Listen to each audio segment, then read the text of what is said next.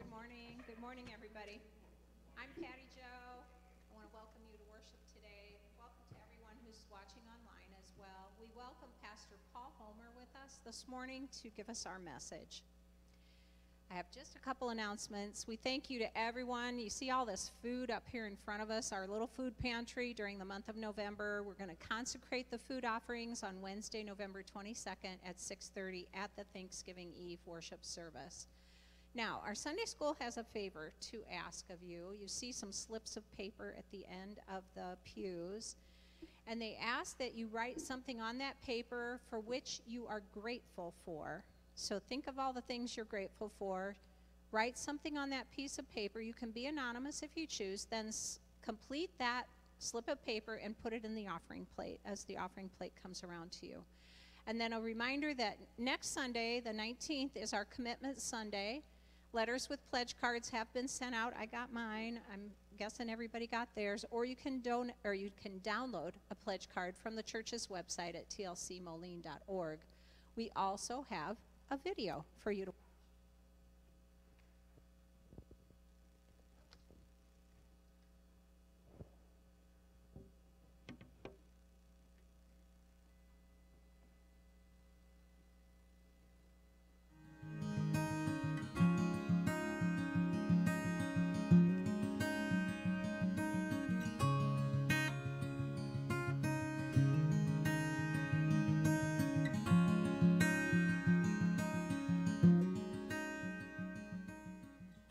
members at Trinity for, I think, around 18 years now. Always felt very welcome to come worship here. And as we became more and more familiar with the church, we felt more welcome and more that this was a church we wanted to be at. It's like family. Um, we don't have much close family. My sister and brother are both passed away. Uh, we lost our son. Uh, and so it's down to our grandson and our daughter, and uh, the church is, is probably uh, a great part of our family. when I was young, um, my family moved to the Quad Cities. I was not quite three, and we joined here at Trinity, and we were members here for probably about four or five years uh, before we moved uh, out of the Quad Cities to uh, to Geneseo. Um, and then when Sarah and I then were looking for a church before Jack was born. Uh, this Trinity was a, a natural place for us to look, and it was one that was very comfortable because it felt to me like I was coming home. Our members realize that we all care about each other and that we love one another and that we depend on one another and we depend on our God, that we will always be seen through the tough times. I like coming to Trinity because, well, just the people. They're so welcoming, and you know, Sunday school. It's it's fun, and After we got married, we decided that this was kind of more the direction that we wanted to go. It um, the church aligned more with our personal beliefs, um, and music was a, a priority of the church. And I liked the size of the church; it wasn't too small, um, but it wasn't too big. Like I, I get a chance to talk to everybody and know who everybody is, and and that was unique for me. Um, growing up in a large church, I like the the tighter community of, of Trinity.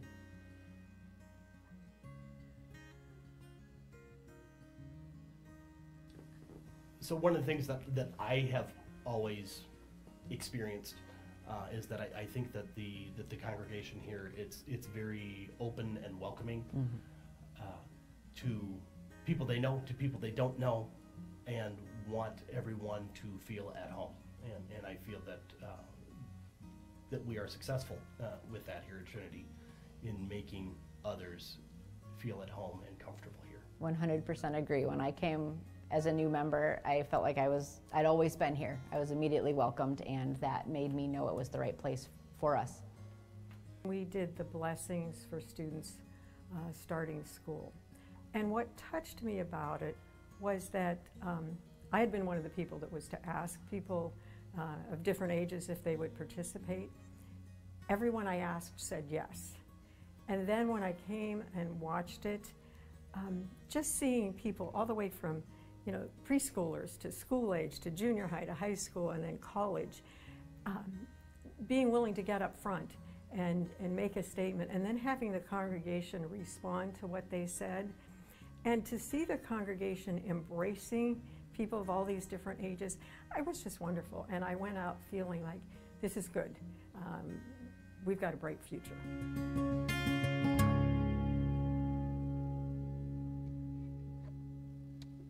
Amen. Let's worship together.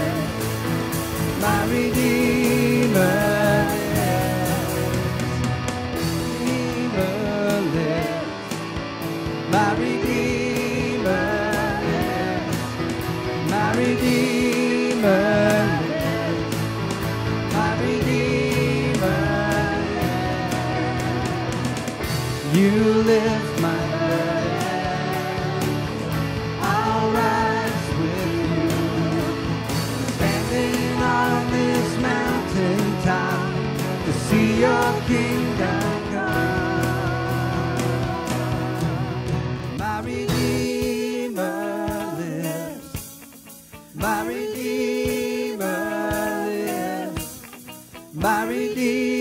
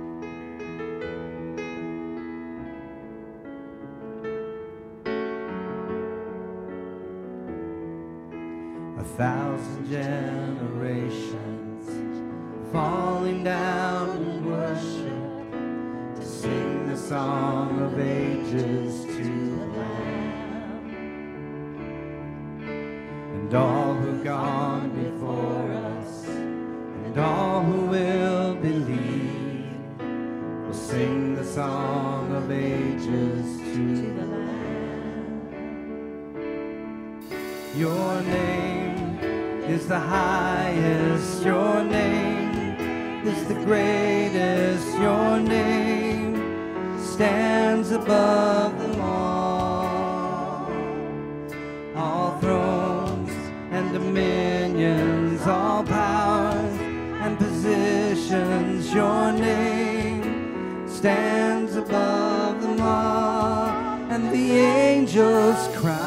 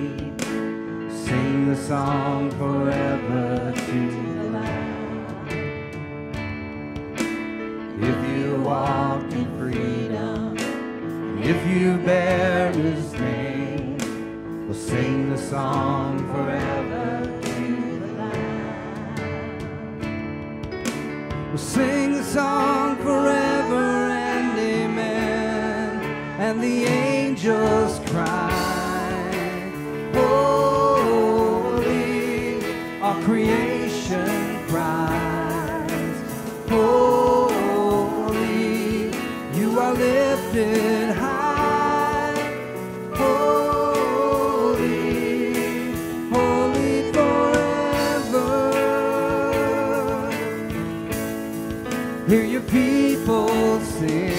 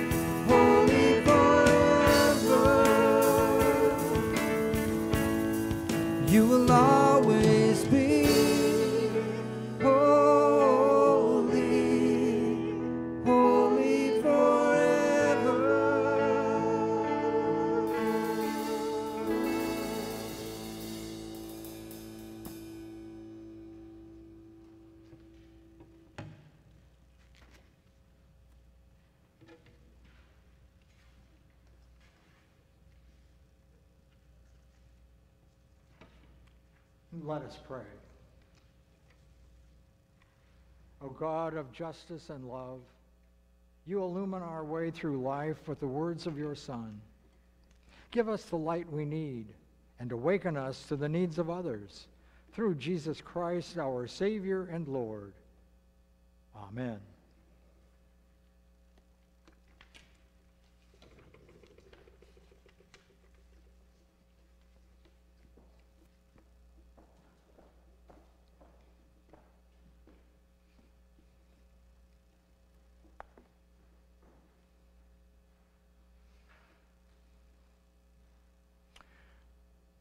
I should say, welcome to worship. It's a great day to worship the Lord. Good to see all of you here.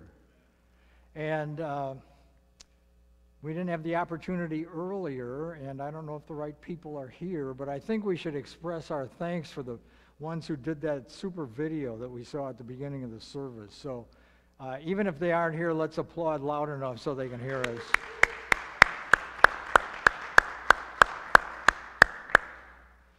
Very good. I will introduce myself. I'm uh, Pastor Paul Homer. I reti- I'm retired and last served at Emmanuel Lutheran in Clinton. Uh, but um, I'm very close to, I'm really kind of home here. I grew up in Moline, and my dad was pastor at Salem. I don't want to call it a stone's throw, that doesn't sound really good, but a little way off from here. Uh, so that's the congregation in Moline that I grew up at, and certainly knew about our sister congregation here at Trinity all those years. And it's, so it's good to be with you this morning, and thank you for inviting me. Our gospel reading for today comes from the 25th chapter of Matthew. Oh, I didn't know that was going to be on the screen. Jesus said to the disciples, Then the kingdom of heaven will be like this. Ten bridesmaids took their lamps and went out to meet the bridegroom. Five of them were foolish, and five were wise. When the foolish took their lamps, they took no oil with them. But the wise took flasks of oil with their lamps. As the bridegroom was delayed, all of them became drowsy and slept. But at midnight there was a shout Look! Here is the bridegroom. Come out to meet him. Then all those bridegrooms got up and trimmed their lamps. The foolish said to the wise, Give us some of your oil, for our lamps are going out. But the wise replied, No, there will not be enough for you and for us. You had better go to the dealers and buy some for yourselves. And while they went to buy, the bridegroom came, and those who were ready went with him into the wedding banquet. And the door was shut. Later, the other bridesmaids uh, came also, saying, Lord, Lord, open to us. But he replied, Truly, I tell you, I do not know you. Keep awake, therefore, for you know neither the day nor the hour. The gospel of the Lord. And let us pray. Lord God, we thank you for the words of Scripture that inspire us, for your presence among us. We thank you for the opportunities that you place before us to grow in faith, to share your love, and to serve. Be with us today that we may be inspired by your Spirit to live the Christ, the life that Christ calls us to lead. In Christ's name we pray. Amen. Be prepared. Now, many of you will perhaps recognize that as the long-standing motto of the Boy Scouts. Be prepared for what? Someone once asked Robert Baden Powell, the founder of Scouting. Why, for any old thing, Baden Powell, Powell replied. And a Scout website expands on that idea, noting the training you receive in your troop will help you live up to the Scout motto. For example, when someone has an accident, you are prepared because of your first aid instruction. Because of life saving practice, you might be able to save a non swimmer who has fallen into deep water. But Baden Powell wasn't thinking just of being ready for emergencies. His idea was that all scouts should prepare themselves to become productive citizens and to give happiness to other people. He wanted each scout to be ready in mind and body for any struggles and to meet the strong, with a strong heart whatever challenges might lie ahead. Be prepared for life, to live happily and without regret, knowing that you have done your best. That is what the scout motto means. Well, be prepared seems to be the point of Jesus' parable in our gospel reading. Here we have the story of 10 young ladies who have been lined up to be bridesmaids and are looking to share in a wedding celebration. They are to light the way for the bridal party so that so they come equipped with their lamps full of oil. But half we are half of them we t- are told are wise and half are foolish. Now, the details of the story are quite memorable, and we've just heard it, so there's no reason to repeat it here. So, what is it that shows that some of these bridesmaids, or virgins, as other translations put it, some of them are wise, and then others are foolish? Greg Carey notes the parable knows only one distinction between the wise and foolish virgins. It characterizes five as wise because they bring extra oil, and it renders five as foolish for failing to do so. Otherwise, all the virgins act the same. They arrive on time, they wait, they tire and fall asleep. Awakened, they all trim their lamps. But when the bridegroom arrives, the foolish virgins, virgins find their oil giving out. The first one, the five wise virgins, claiming they only have enough oil for themselves, will not share. So the foolish five go out to buy more oil, finding the door shut upon their return. They miss out. Preparation marks the only difference. Now, the parable is quickly, typically understood as relating to the coming of Christ. He is the bridegroom that the people are waiting for. His coming is promised, but nobody knows when that will be. His people are to let their lights shine so that they are burning brightly when he comes, whenever that may be. And then they will join the wedding feast and know the thrill of his presence and the joy of his party. So the obvious question becomes how are we to prepare? now, to think about that, I would like to take a cue from the congregation's emphasis to grow in God, care in Christ, and serve in the Spirit. And I'd like to go on and expand this parable to imagine that there were actually 20 bridesmaids, four groups of five each. Now, in this, pres- this perspective, all 20 bridesmaids are invited to the wedding celebration. And of course, all have the task of letting their lights shine for the bridegroom. Now, I maintain that this expansion is really okay because this is going to be a grand celebration. I think back to times when I've done weddings and someone will ask me, Well, was it a big wedding? Now, usually they're not talking about the number of guests in attendance. They're talking about the number of bridesmaids and groomsmen that the couple has. Well, if Jesus is the bridegroom, this is going to be one big wedding. The most important person ever is the groom. And so this will be the mother of all weddings, so to speak. A wedding to beat all weddings big. Surely 20 bridesmaids is not too many. Well, anyway, in this scenario, all 20 are sent invitations to have the honor of serving as a bridesmaid. But as it turns out, five of them don't open their mail. They never receive the message. Now, maybe you think this is a bit fanciful, but my wife Chris has a cousin who really is this way. There have been times when Chris has sent letters or even birthday cards and later learns that the cousin knows nothing about them.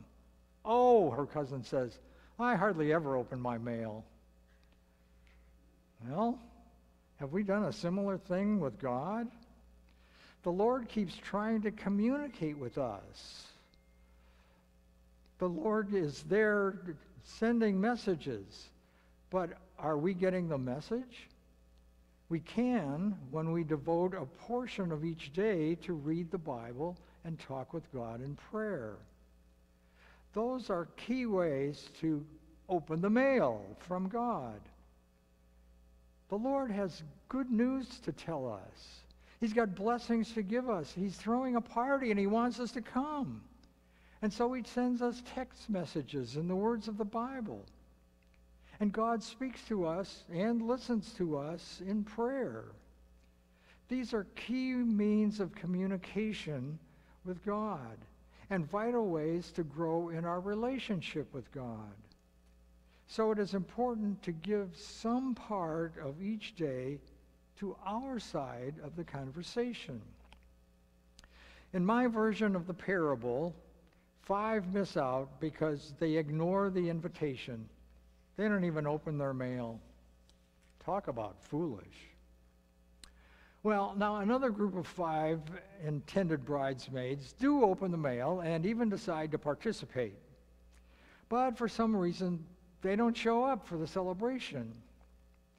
Now, in a way, this might remind us of another parable that Jesus told, in which those who were invited go off and do other things instead of coming to the wedding feast. Now, again, is this too far fetched? Mm, not really. A number of years ago, I had a wedding where one of the groomsmen didn't show up. Now, he wasn't there when the rehearsal was to start, so we waited. And people said he was driving to northern Illinois from Florida and had left a couple of days before. So we thought he was just a bit late. Well, he didn't show up, and so finally we went ahead with the rehearsal without him.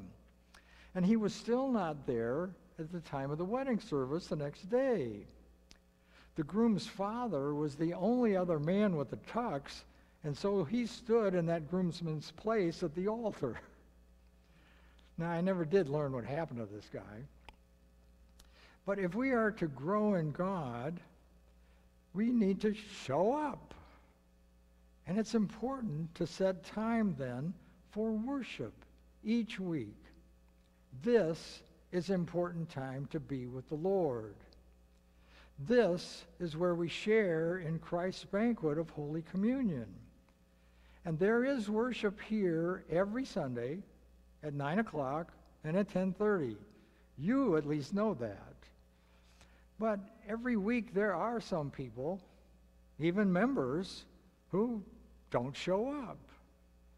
Now, yes, I know that some worship experiences are better than others. Okay, I've been around a while. And some weeks the sermon or the hymns, the choir anthems, and so on are better or not better than at other times. But Christ is always here. And you can't tell in advance which times will be better than the other ones. I remember a woman who spoke to me after the service one Sunday morning. She said, Ernie and I were talking at breakfast about whether we would come to church or not today. But this service was really special and inspiring. We're glad we came. It makes you think you shouldn't skip any Sunday because you might miss out on something really good. I think she got the point. But there's more to it than that. There's another aspect to worship because not only is Christ here, but so are the people of God. So are the caring, supportive, loving, encouraging people of the church. Many people find care and support on Sunday morning that they find nowhere else. Even just a hug or a few words of concern while sharing the peace or when walking out after the service can mean a lot and show that you care. I heard of one woman who actually sat during the whole service making notes in her bulletin. During the service, she would look around at the people who were there, and then she would think about and remember those people's needs and hurts, and she would make notes about it. Those notes became her prayer list for each day following. And then she would also follow up with a phone call or a note during the week to those folks. At worship, we can not only grow in Christ, grow in God, we can care in Christ. And then we can take that caring out into the world.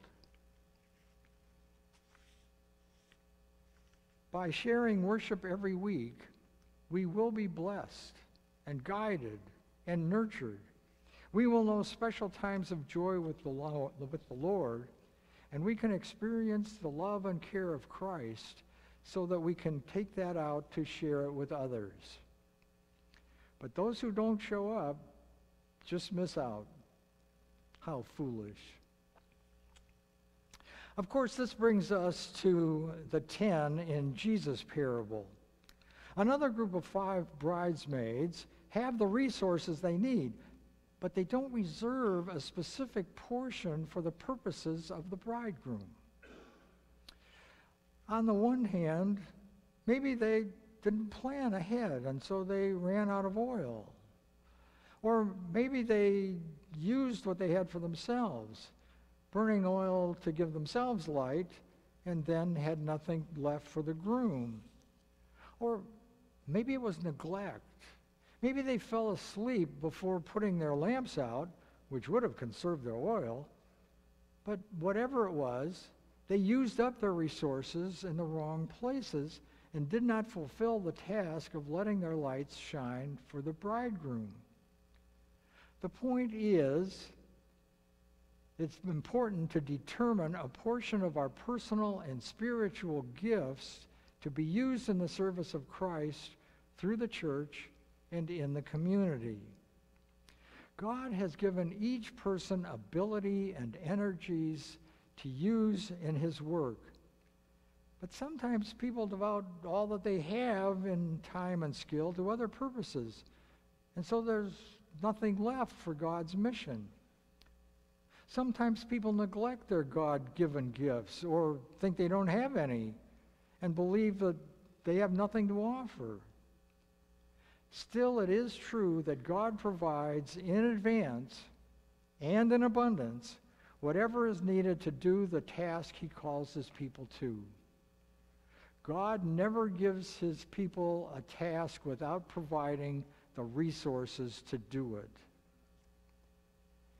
And that includes our financial resources. Well, five bridesmaids seem to just go with the flow, but found themselves unprepared to deal with what actually happened. They were there, the bridegroom was at hand, but they had nothing left to do the job. So they missed the party. People who don't use their resources for their God given purposes miss out on the joys of the Lord's service. So close. So foolish. But of course, there are the five who reserved a portion of their oil for the bridegroom's coming. And they were able to serve in the spirit of celebration. They are prepared and ready to fulfill their task and let their lights shine. They set aside oil from the start and did not count on things just working out. And so they are able to experience all the joy and wonder of the wedding feast. They had planned, they were prepared, and now they could party. There are many ways to serve in the Spirit, but a key one is in the light of Jesus' parable, is what I would call percentage living. That is, we know that Christ comes to us, but we are committing a specific part of every area of life to grow, care, serve, and share. So when Christ comes to us, how are we to be prepared? By intentionally dedicating a portion of our time and our lives to daily prayer and Bible, weekly worship, sharing Christ's love here and everywhere, using our abilities and gifts regularly in His service, and sharing generously of our income. When we think in percentage terms, we can see the joy coming and growing. Those who grow in God, care in Christ, and serve in the Spirit will let their lights shine, aware that overflowing generosity and abundant joy go hand in hand. So, wise or foolish? Planning and preparation make the difference. Those who intentionally maintain communication with God through prayer, who show up for worship, who offer to others Christ's loving care, who use their gifts in the Lord's purposes, and who share what they have for the mission of Christ, will find real and abundant joy. So be prepared.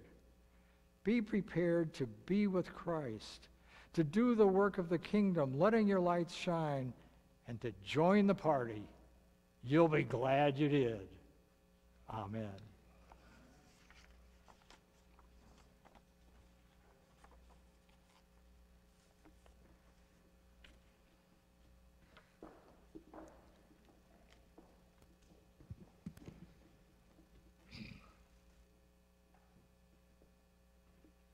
As we continue with a worship song, um, you're invited to join in the party of uh, giving of your offering. So if someone could help out with that, it would be wonderful.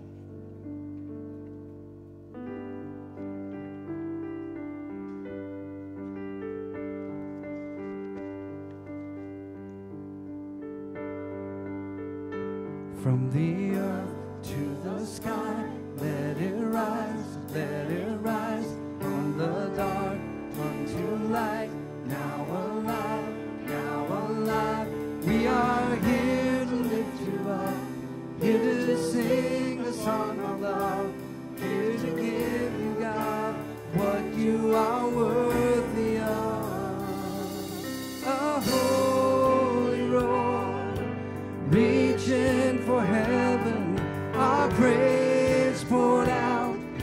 a reckless abandon.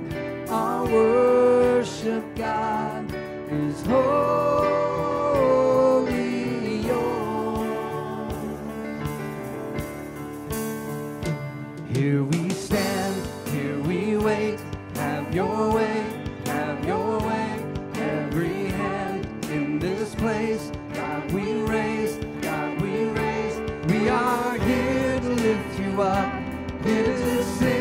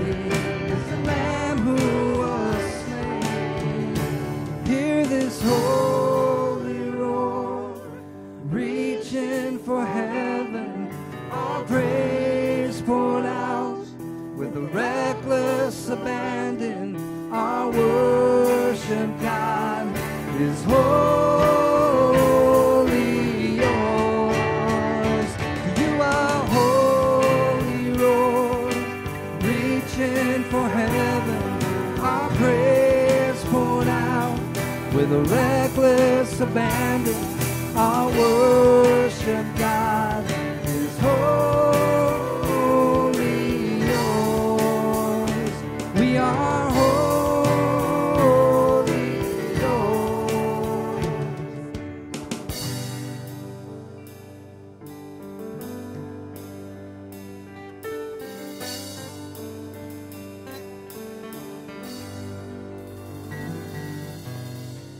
Let us join together in our confession before God. Holy and merciful God, we ask for your help, your power, your spirit, so that we can amend our lives and grow more each day into the image of Christ. We confess that we fear what is different. We confess that it's easier to lock the doors of our community than to receive those who don't look like love like we love, vote like we vote.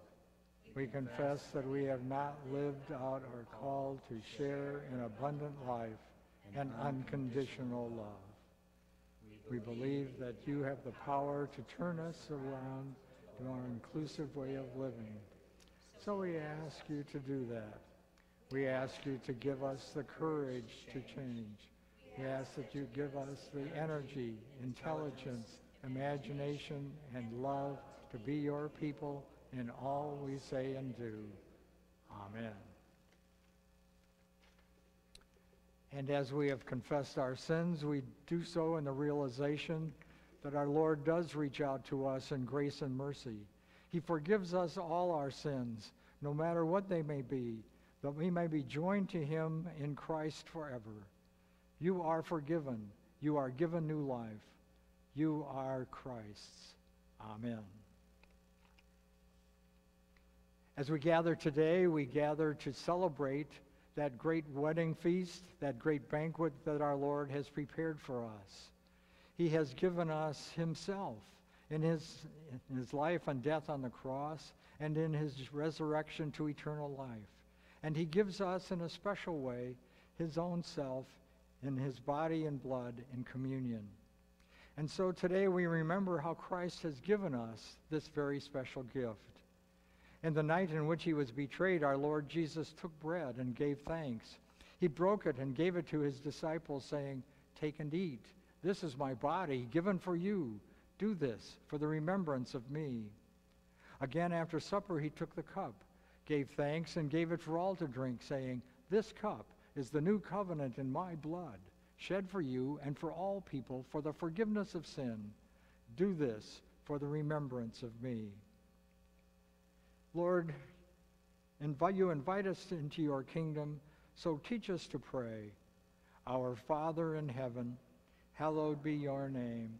Your kingdom come, your will be done, on earth as in heaven. Give us today our daily bread, and forgive us our sins as we forgive those who sin against us. Save us from the time of trial, and deliver us from evil.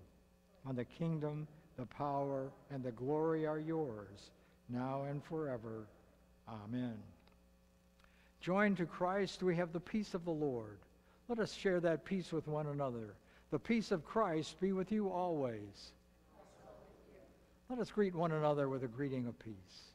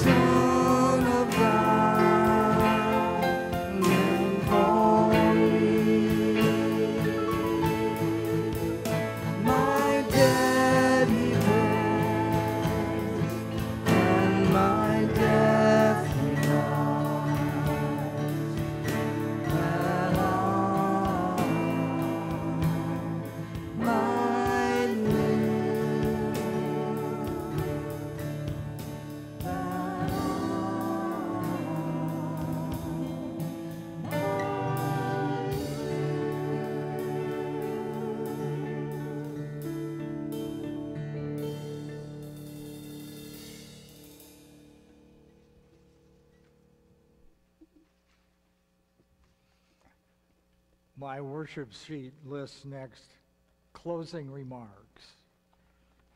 And that's always a dangerous thing to tell a pastor. If I may, I will indulge you with, uh, or if you will indulge me, I'll tell you a story about that. When my uh, sister got married, uh, my brother and I officiated at the service, and of course, our dad came in with the bride and, and so on. And my brother, it was at my brother's church, and so uh, he was the lead pastor in the service and ran the rehearsal. And when it came to giving the bride at the beginning of the her- rehearsal, he said to our father, uh, "Now your answer is our mother, her mother and I do. You know, who gives this woman to be married to this man? Her mother and I do." And my brother had this habit of adding in, I- and this is your last chance to add something if you want. And I thought, don't say that to another pastor. And sure enough, when in the day of the wedding, they came in and he said, Who gives this woman to be married to this man? And my dad said, Her mother and I do. And we really mean that. And he, he went on and talked for about three minutes, you know. So it's dangerous to say closing remarks. Well, here's a pencil if you want to scratch that out. Stretch that out, okay. But of course, the theme of uh, the stewardship effort is to grow in God, to care in Christ, and to serve in the Spirit. And that's a great summary of what our life in Christ is about. As I said earlier, I believe God never calls his people to a task without already providing the resources to do that. And that's especially the case in the ministry of Trinity Lutheran Church.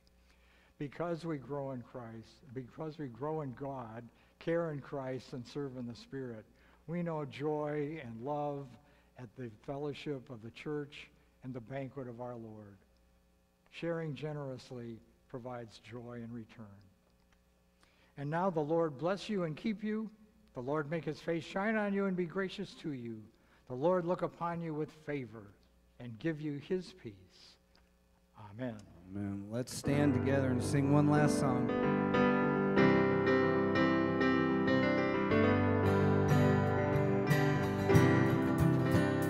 Your love, oh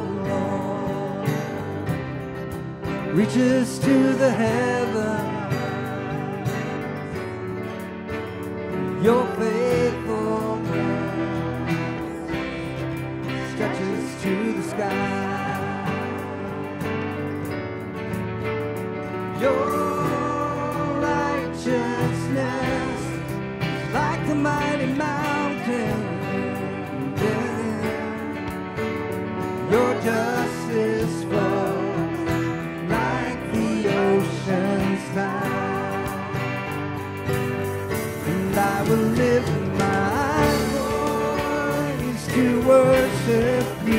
My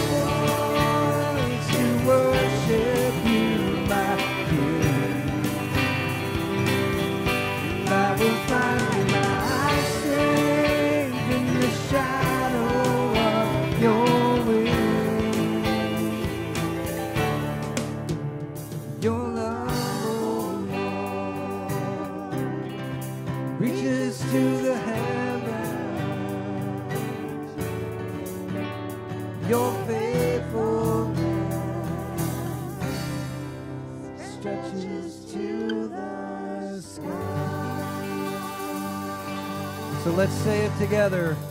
Grow in God, care in Christ. serve in the Spirit, Thanks be to God. go in peace.